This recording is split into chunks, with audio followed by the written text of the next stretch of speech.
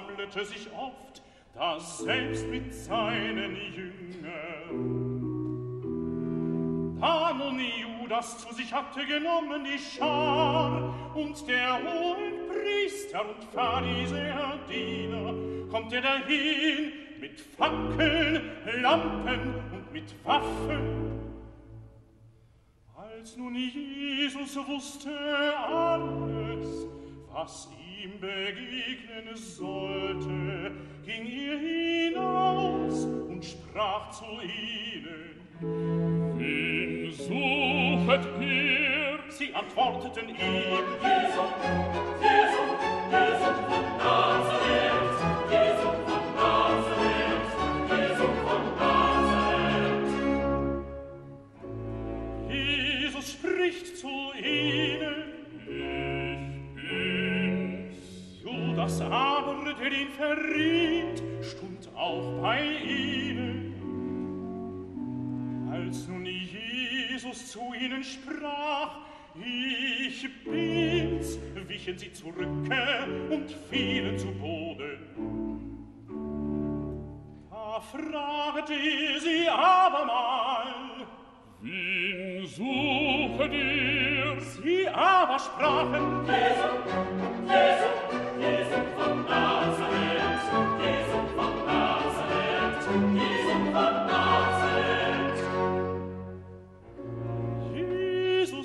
antwortete, ich hab's euch gesagt, dass ich's sei. Suchet ihr denn mich, so lasset diese gehen.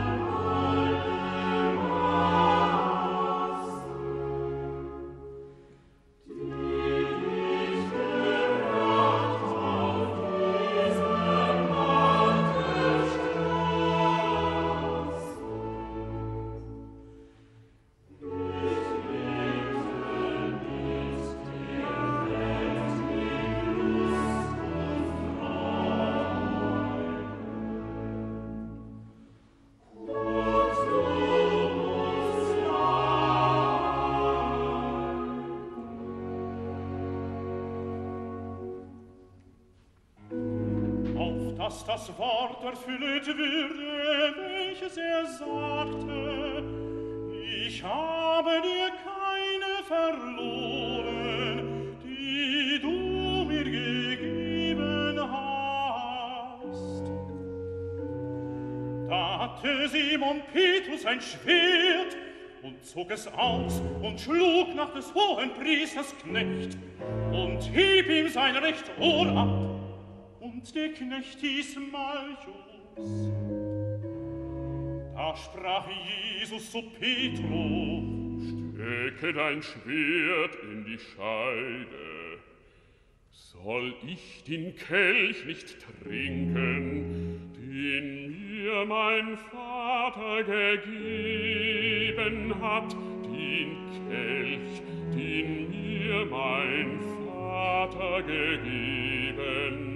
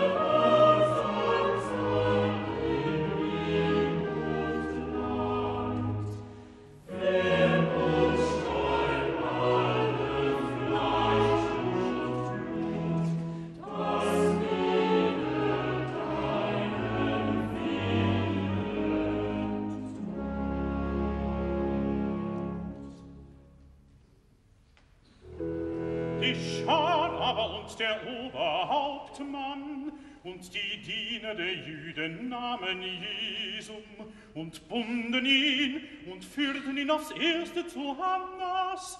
Er war Kaiphas Schwer, welcher des Jahres hoher Priester war.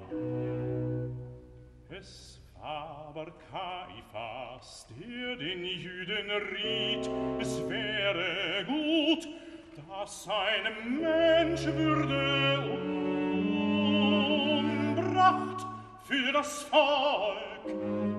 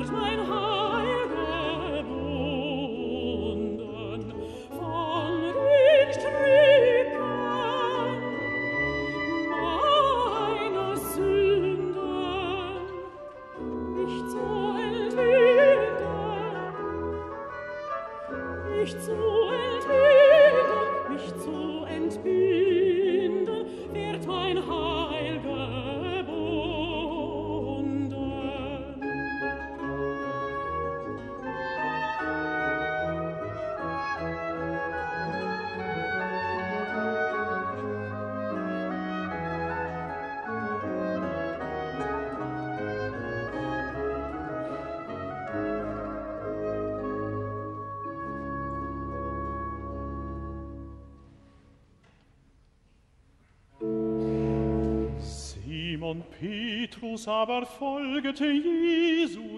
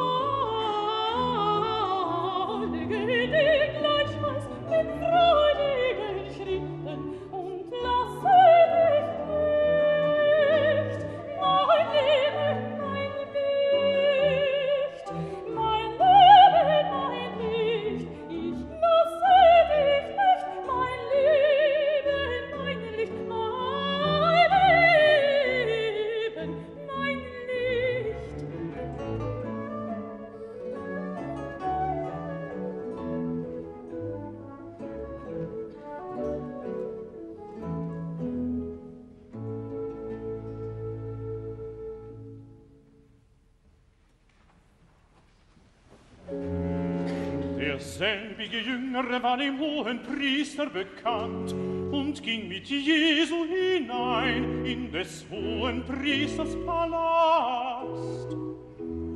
Petrus aber stund draußen für der Tür.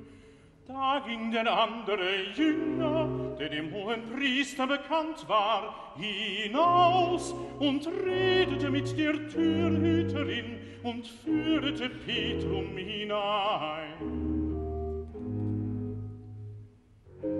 Da sprach die Magd, die Türhüterin, zu Petro.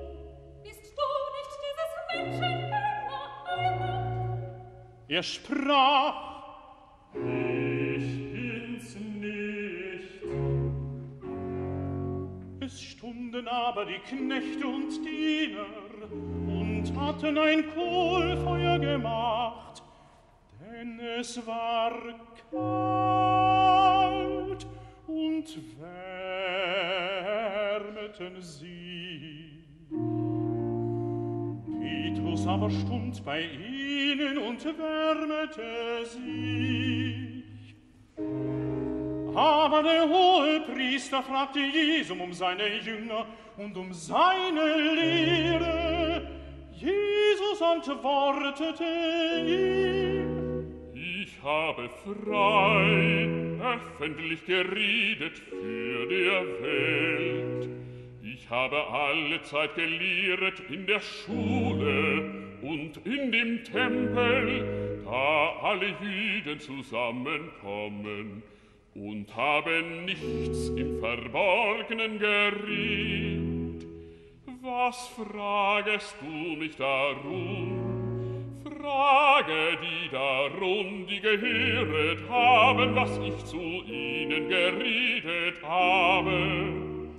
Siehe, dieselbigen wissen, was ich gesaget habe. Als er aber solches redete, gab der Diener einer, die dabei stunden, Jesu einen Backenstreich und sprach, Solltest du dem hohen Priester also antworten? Jesus aber antwortete, Ob ich übel geriet, du beweisest, dass es böse sei, hab ich aber recht geriet, was schlägest du mich?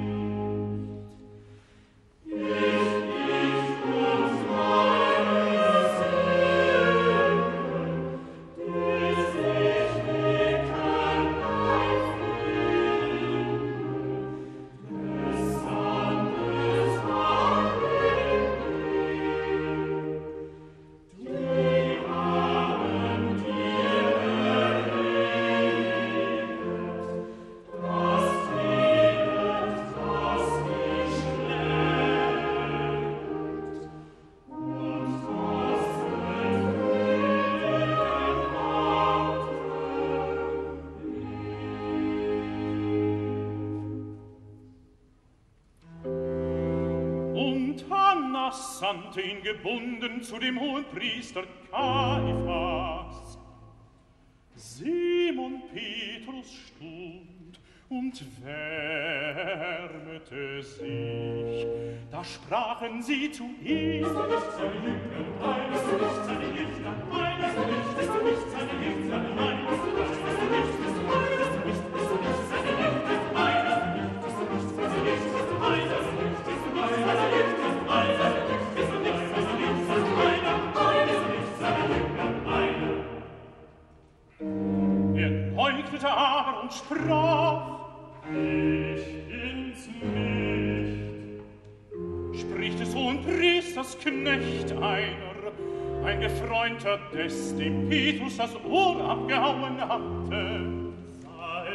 ich nicht im Garten bei ihm. Da verleugnete Petrus abermal, und also alsobald krähte der Hahn.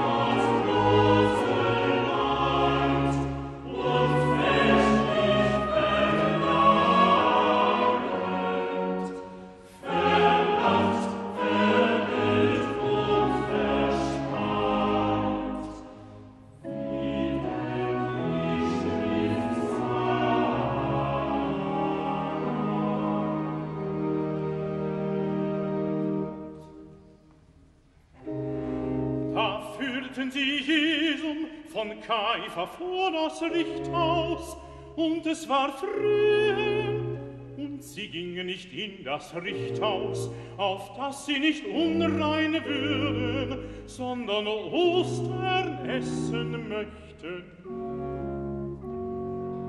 Da ging Pilatus zu ihnen heraus und sprach, Was bringet ihr für Klage wider diesen Menschen? Sie antworteten und sprachen zu ihm, Wer diesem nicht ein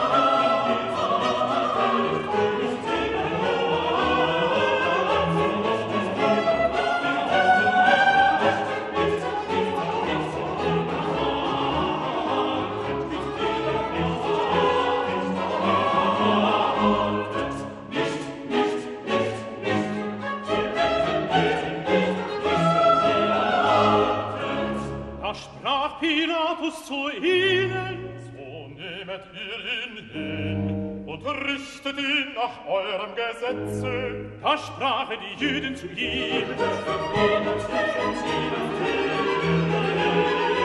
Liebe,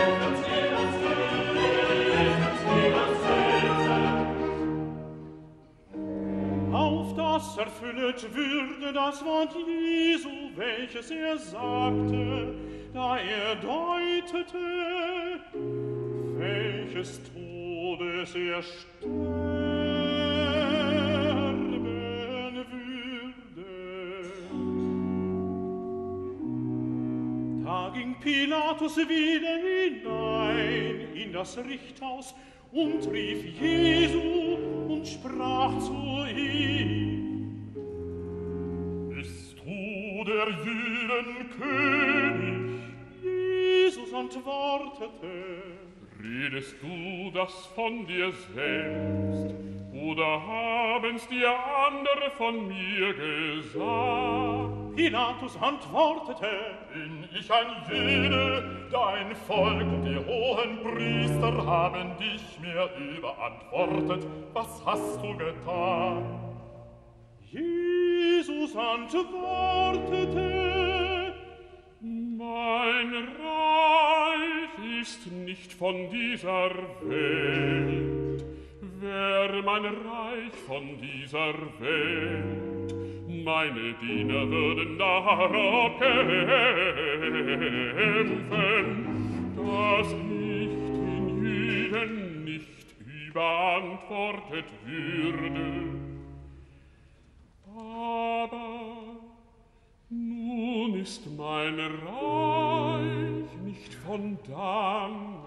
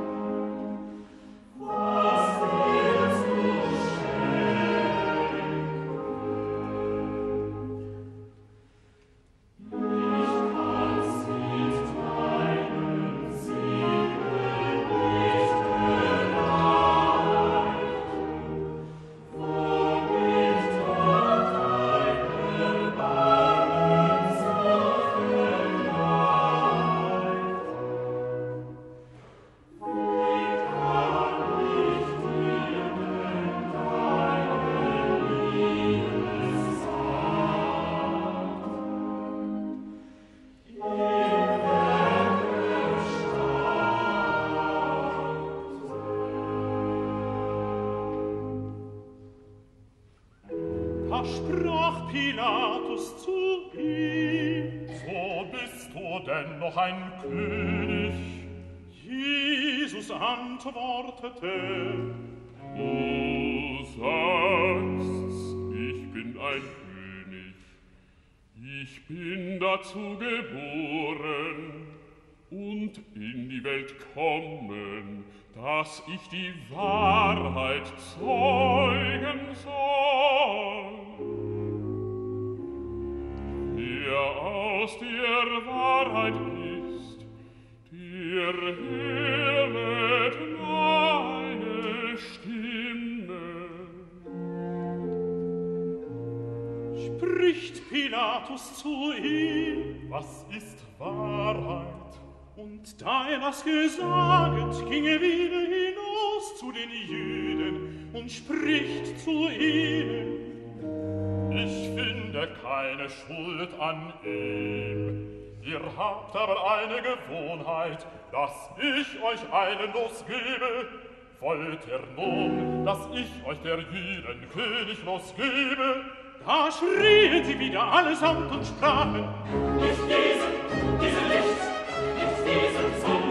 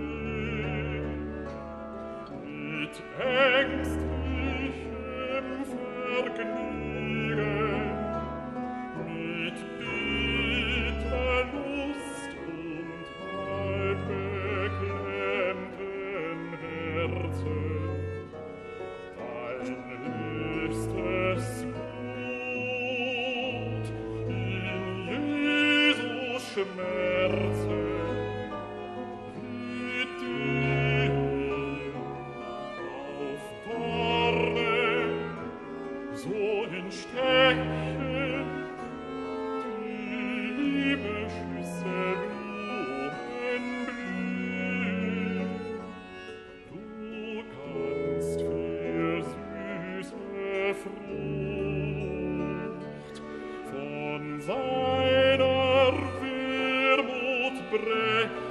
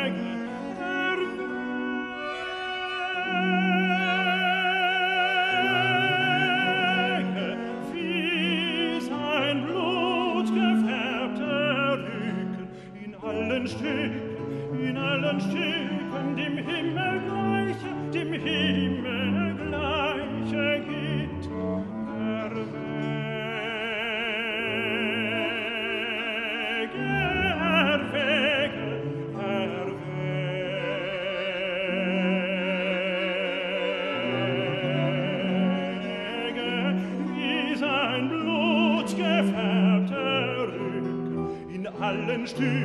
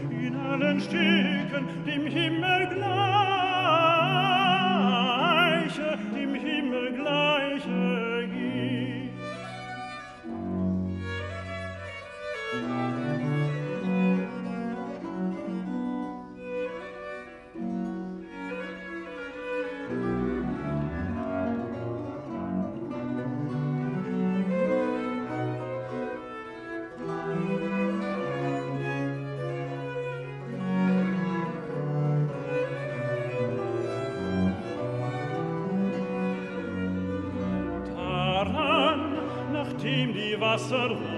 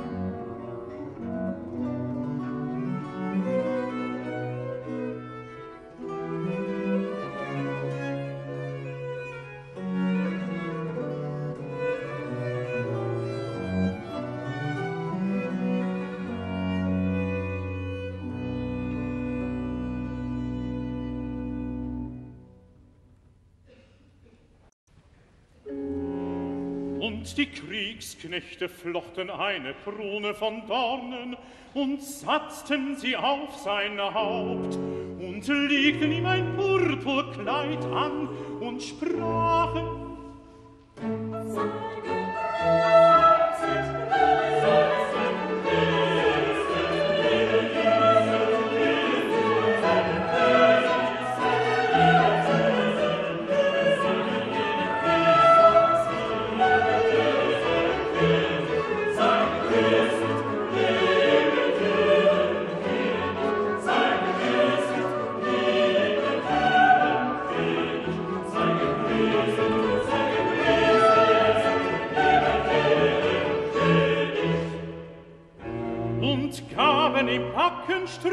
Leiche. Da ging Pilatus wieder heraus und sprach zu ihnen, Siehet, ich führe ihn heraus zu euch, dass ihr erkennet, dass ich keine Schuld an ihm finde.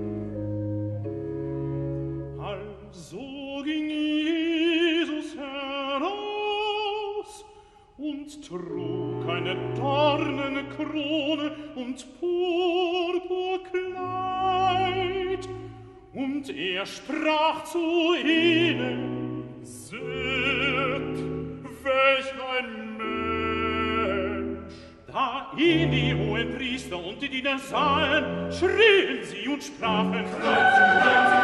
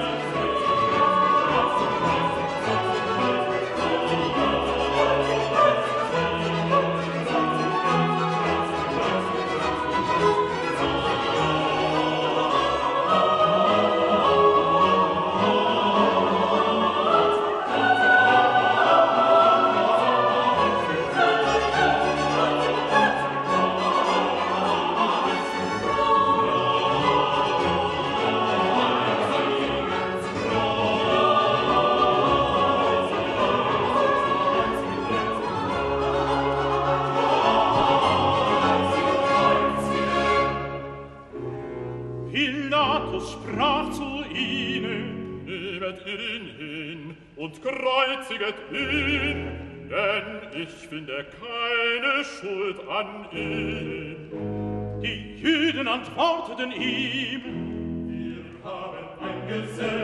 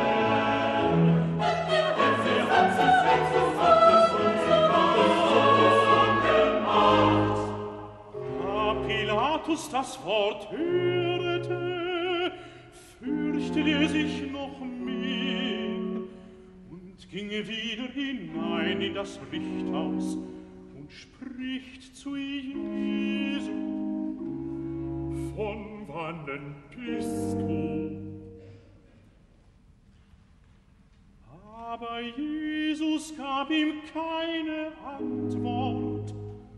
Da sprach Pilatus zu ihm, Redest du nicht mit mir? Weißest du nicht, dass ich Macht habe, dich zu kreuzigen und Macht habe, dich loszugeben?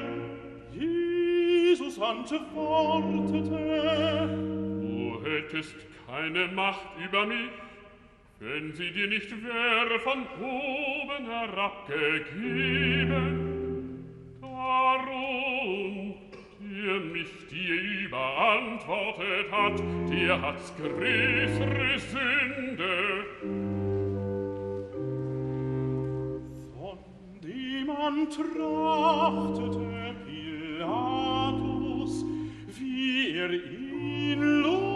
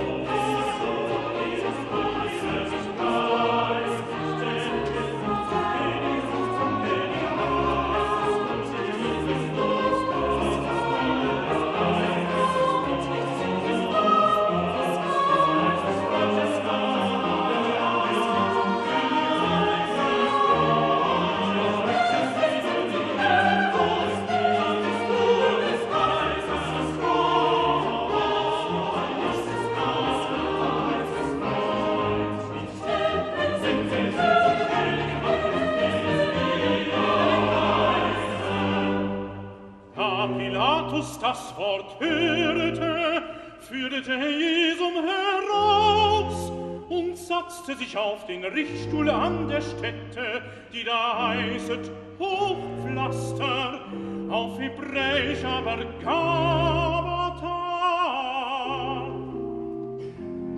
Es war aber der Rüsttag in Ostern um die sechste Stunde, und er spricht zu den Jüden, Seht, das ist euer König.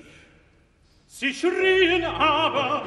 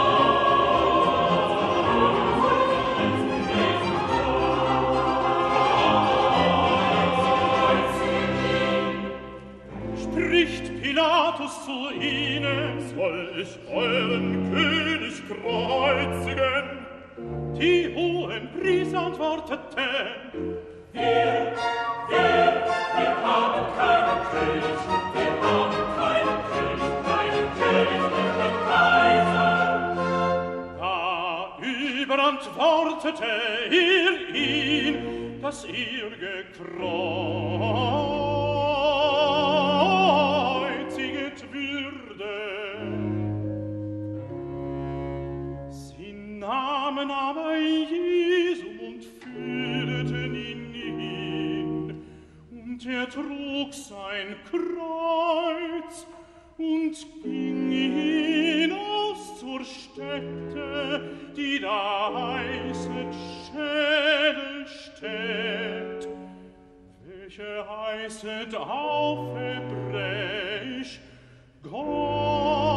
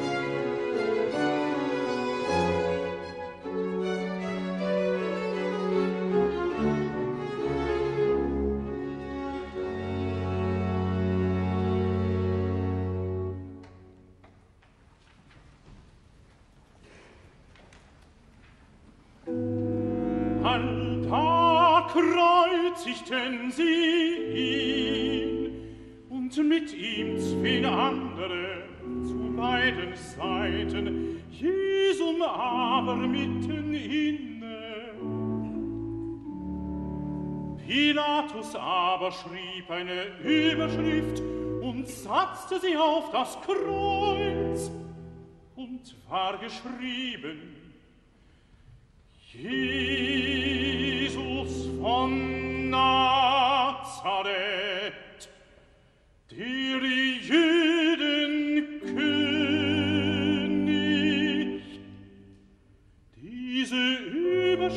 lasen viele Jüden, denn die Stätte war nahe bei der Stadt, da Jesus gekreuzt war geschrieben auf hebräische, griechische und lateinische Sprache. Da sprachen die hohen Priester der Jüden zu Pilato. Schreiben nicht, schreiben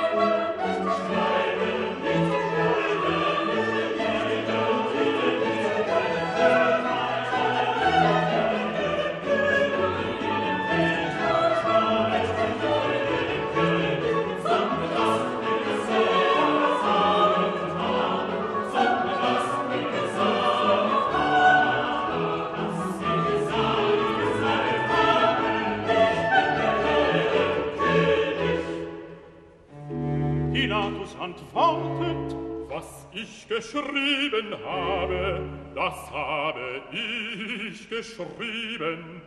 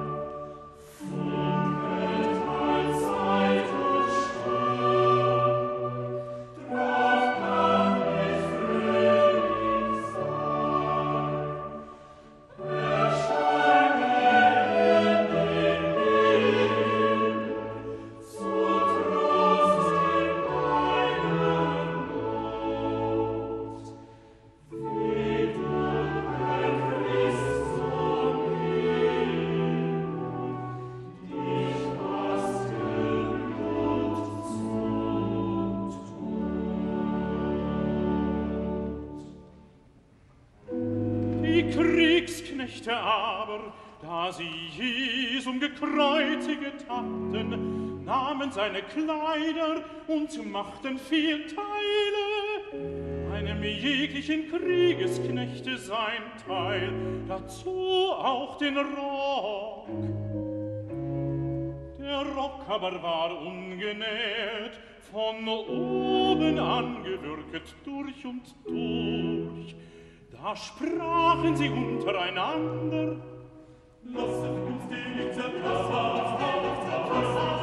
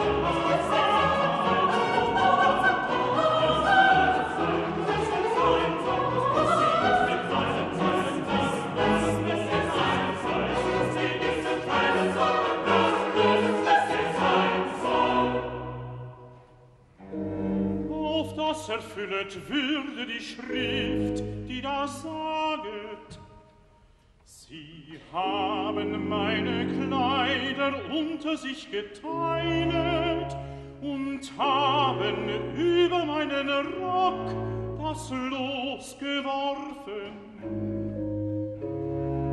Solches taten die Kriegesknechte.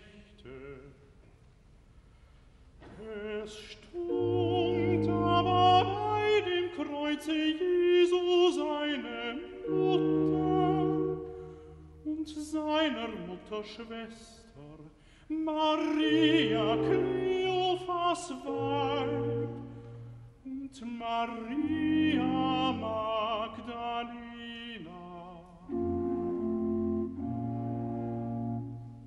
sah nun Jesus seine Mutter sahe und den Jünger dabei stehen, den er lieb hatte. Spricht er zu seiner Mutter,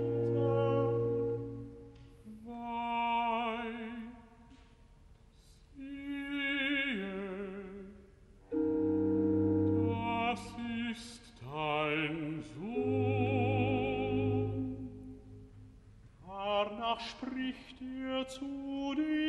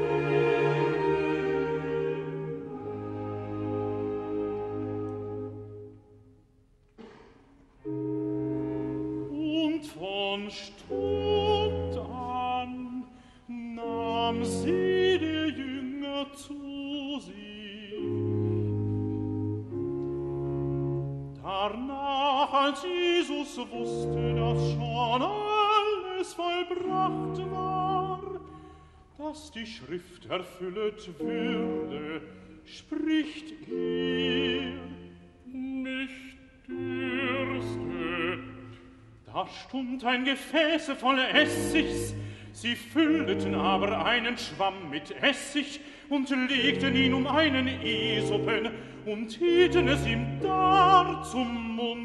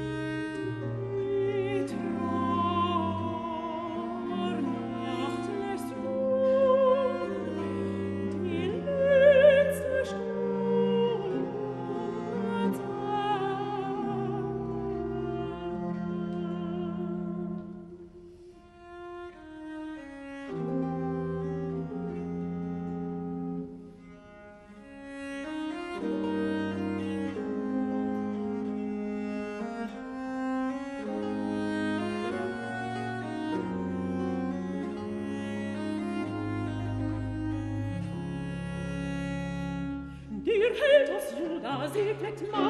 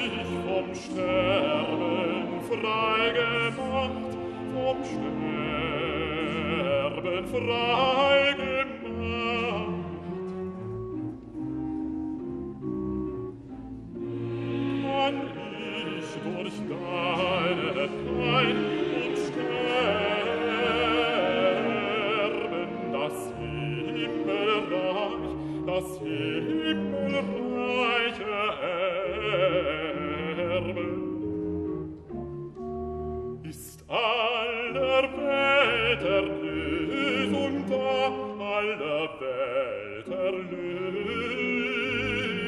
da aller Welt Erlösung.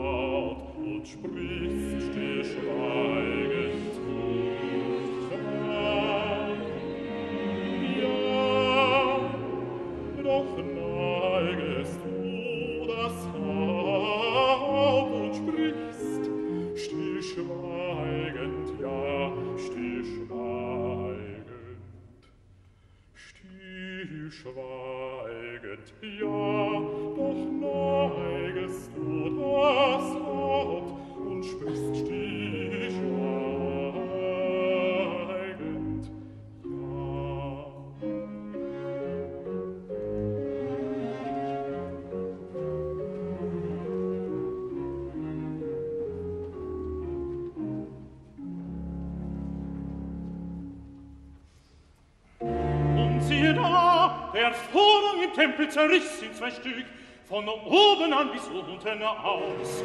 Und die Erde erbebete, und die Felsen zerrissen, und die Gräber täten sich auf, und stunden auf wie Leiber der Heiligen.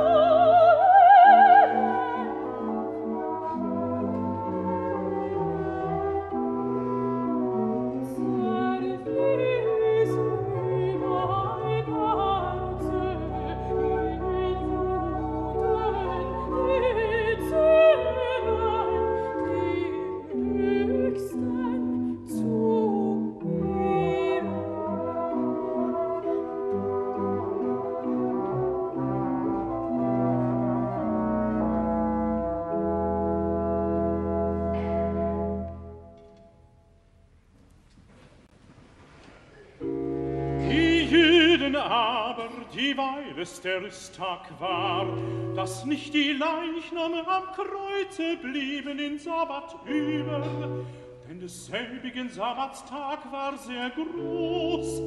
Baten sie Pilatum, dass ihre Beine gebrochen und sie abgenommen würden.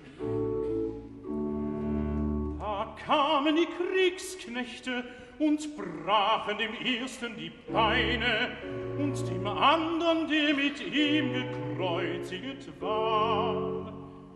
Als sie aber zu Jesu kamen, da sie sahen, dass er schon gestorben war, brachen sie ihm die Beine nicht, sondern der Kriegsknechte einer eröffnete seine Seite mit einem Speer, Und alsobald ging Blut und Wasser heraus.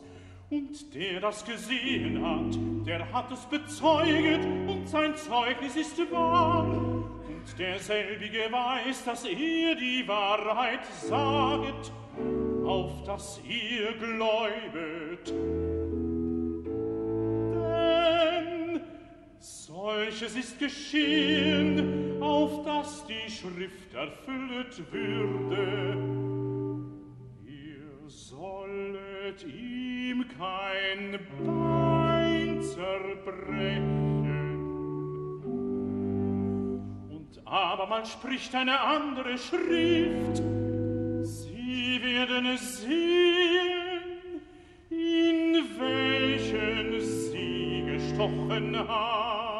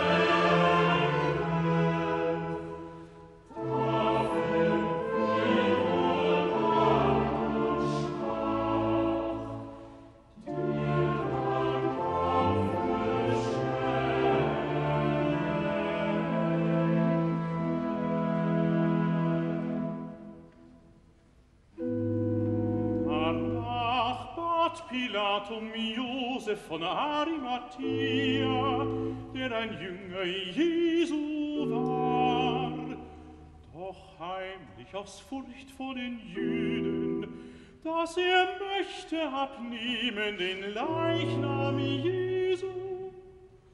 Und Pilatus erlaubete es, derowegen kam er und nahm den Leichnam